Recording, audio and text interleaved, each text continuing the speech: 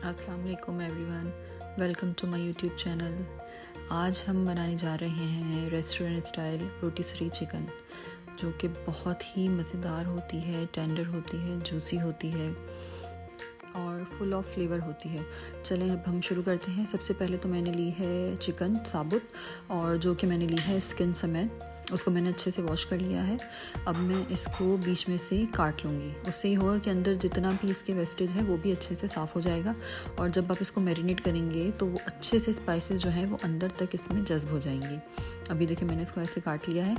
और अंदर इसके जितना भी, ये देखें, इस तरह से जैसे ये वेस्टेज है, आप इसको सब साफ़ कर लें। अच्छा अब ये जो अंदर जितना भी वेस्टेज है, मैंने इसको भी निकाल लिया है। तो ये अंदर से भी बिल्कुल साफ़ हो गई है। अब इसको मैं कांटे की मदद से इस तरह से कर लूँगी ताकि जब मैं इसको मैरिनेट करूँगी तो अंदर जितना भी जो स्पाइसेस हैं वो अच्छे से इसके अंदर चली जाएँ। अब बस मैंने कर लिया, इसके बाद मैंने इस पर बस सिर्फ़ ये सॉल्ट इस तरह से स्प्रिंकल किया है और स्प्रिंकल करने के बाद मैं इसको अच्छे से मल दूँगी। और इसके बाद मैंने इस पर लगाया है ब्लैक पेपर पाउडर और उसको भी मैं अच्छे से इस तरह से मल दूँगी। बस अब इसको इस तरह से मलने के बाद आपने तकरीबन इसको 24 फोर आवर्स के लिए मैरिनेट करना है। क्योंकि जो और मैंने स्पाइसेस इस पर लगाने हैं, वो मैं बाद में लगाऊँगी। उससे पहले मैं इसको 24 घंटे के लिए रेफ्रिजरेटर में छोड़ दूँगी, ताकि जो नमक और मिर्च है, वो इसमें अच्छी तरह से मिक्स हो जाए, क्योंकि इसका जो फ्लेवर है, वो बाद में बहुत अच्छा आता है। बस अब जब ये इस तरह से अच्छी तरह से, इस तरह से ये आप इसको लगा लें, उसके बाद इसको आपने फ्रिज में रख देना है। ये देखें, कितनी अच्छी तरह से इसमें नमक और मिर्च लग चुका है। अब मैं इसको बाउल में डाल के फ्रिज में रख दूँगी और फिर मैं दूसरे दिन इसमें और स्पाइसेस ऐड करूँगी। इसके स्पाइसेस बनाने के लिए सबसे पहले तो मैंने ली है चार से पाँच लाल मिर्चें, उसके बाद मैंने ऐड किया है इसमें सॉल्ट और उसके बाद इसमें जाएगा एक चम्मच काली मिर्च का पाउडर और उसके बाद मैंने इसमें डाला है एक चम्मच ब्राउन शुगर ये जो है बहुत अच्छा फ्लेवर देता है चिकन में। उसके बाद मैंने डाला है एक चमचा जिंजर गार्लिक पेस्ट का और एक ही चमचा मैंने डाला है ड्राइड हर्ब्स का। जाएगा इसमें एक चमचा औरिगानो पाउडर और उसके बाद इसमें जाएँगे दो चमचे पेपरिका पाउडर के। इससे रंग बहुत अच्छा आता है चिकन में। और उसके बाद मैं शामिल करूँगी इसमें तीन कश्मीरी लाल मिर्च काट के। और उसके बाद इसमें जाएगा दो चमचे वाइट पेनीगर के। उसके बाद मैं इसमें शामिल करूँगी दो चमचे लेमन जूस के और उसके बाद मैंने इसमें शामिल किया है थोड़ा सा पानी और उसके बाद इसमें जाएगा थोड़ा सा कुकिंग ऑयल क्योंकि ये मैरिनेशन में बहुत अच्छे से काम करता है। उसके बाद मैं इसको अच्छे से ब्लेंड कर लूँगी। अब बस ये जब अच्छे से ब्लेंड हो जाए तो आप इसको बाउल में निकाल लीजिए। उसके बाद मैंने ये चिकन ली है जिसको मैंने 24 फोर आवर्स मैरिनेशन के लिए छोड़ दिया था। अब मैं इसमें जो मैंने स्पाइसेस ब्लेंड किए हैं, उसको मैं अच्छे से इस पर लगा दूँगी।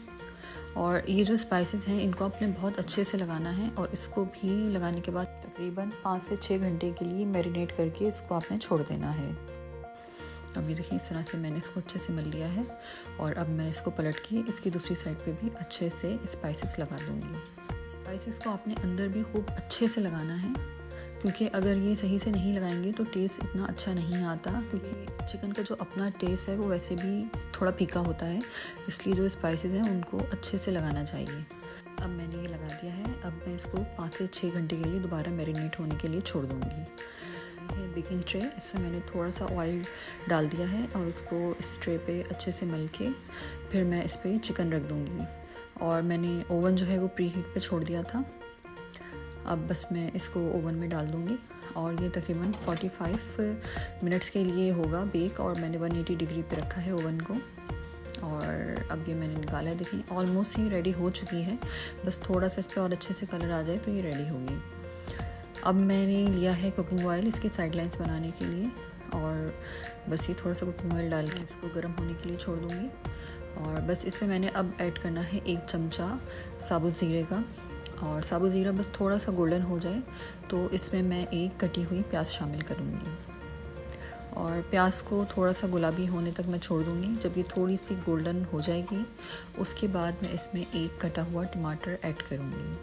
टमाटर डालने के बाद मैं इसमें शामिल करूँगी एक चमचा लहसुन अदरक का पेस्ट और उसके बाद मैं इसको थोड़ा सा मिक्स कर लूँगी और उसके बाद मैं इसमें बाकी के मसाले शामिल करूँगी।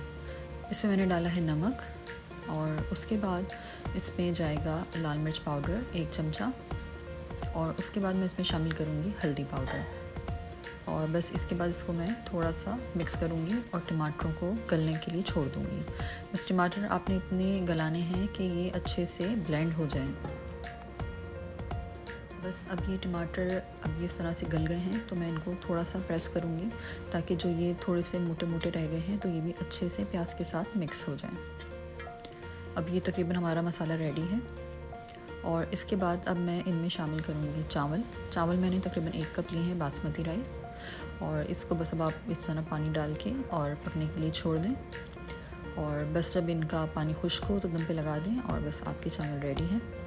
अच्छा इन चावलों में ज़्यादा स्पाइसेस ऐड नहीं होते हैं क्योंकि ये सिंपल राइस बनते हैं। इस रोटी सरी चिकन के साथ इसके साइड लाइन्स जो हैं, वो ये येलो राइस ही होते हैं और ये चिकन के साथ बहुत अच्छा फ्लेवर देते हैं। बस अब ये चावल मेरे रेडी हो चुके हैं। अब मैंने इसमें थोड़ा सा ग्रीन कैप्सिकम ऐड की है ताकि इसमें अच्छा सा कलर आ जाए। ये अब मैं बनाने जा रही हूँ अपनी सेकंड साइड लाइन ये है बेक पोटैटो इनको मैंने थोड़ा सा पहले पानी में बॉईल कर लेना है। और ये मैंने बिल्कुल छोटे छोटे आलू लिए हैं और इनको सॉल्ट डाल के मैं थोड़ा पकने छोड़ दूँगी। अच्छा इनको बस इतना बॉईल करना है कि ये हाफ़ डन हो जाए। इनको फुली कुक नहीं करना है, वरना ये टूट जाएँगे। अब देखिए, तकरीबन हाफ़ डन हो चुके हैं। अब बस मैं इनका चूल्हा बंद कर दूँगी। अब बस मैंने इनको डिश में निकाल लिया है। अब इसमें मैं शामिल करूँगी थोड़ा सा चॉप्ड गार्लिक इससे बहुत अच्छा फ्लेवर आता है इसमें। अब इसमें मैं शामिल करूँगी ऑलिव ऑयल बस इसके बाद मैं इसमें शामिल करूँगी थोड़ा सा पार्सले। और बस पार्सले शामिल करने के बाद इसको मैं थोड़ा सा मिक्स करूँगी। और बस मिक्स करने के बाद मैं इसको एयर फ्रायर में लगा दूँगी फॉर टेन मिनट्स, क्योंकि हाफ़ डन हुए हुए होते हैं, इसलिए जल्दी हो जाते हैं। अब इसके बाद मैं अपनी थर्ड साइड लाइन रेडी करूँगी, जो कि है गार्लिक ब्रेड। ये भी बहुत अच्छी लगती है रोटी सरी चिकन के साथ। बस मैंने जो गार्लिक ब्रेड है, इसको मैंने कटेड कर लिया था और इस तरह से ऑयल लगा के बेकिंग ट्रे में इसको लगा देना है और इसके लिए मैंने बटर तैयार किया था। बटर में मैंने सिंपल बस थोड़ा सा चॉप गार्लिक डाला था और उसमें थोड़ा सा पार्सले ऐड करके उसको अच्छे से मिक्स कर लिया था। अब बस इसको इस तरह से लगाने के बाद बस अब जो आपने बटर जो है मेल्ट किया है उसको इस तरह से इस पर लगा देना है और लगाने के बाद इसको भी ओवन में थोड़ी देर के लिए बेकिंग के लिए छोड़ देना है। इसको बहुत ज़्यादा देर बेक नहीं करना है, बस कलर आए तो आप निकाल लें। चलिए जी अब हमारी रेसिपी रेडी हो चुकी है। ये देखिए कितना ज़बरदस्त कलर आया है चिकन का। फुल गोल्डन और फुल ऑफ़ स्पाइसेस है ये चिकन और बहुत ज़्यादा जूसी बनी है। और इसके साथ ये देखिए इस तरह से साइड लाइन्स आप बना सकते हैं। तो इसका फ्लेवर और भी डबल हो जाता है। और अगर आपको मेरी रेसिपी पसंद आई हो तो प्लीज़ लाइक एंड शेयर ज़रूर कीजिएगा। मेरे चैनल को सब्सक्राइब ज़रूर कीजिएगा और please press the bell icon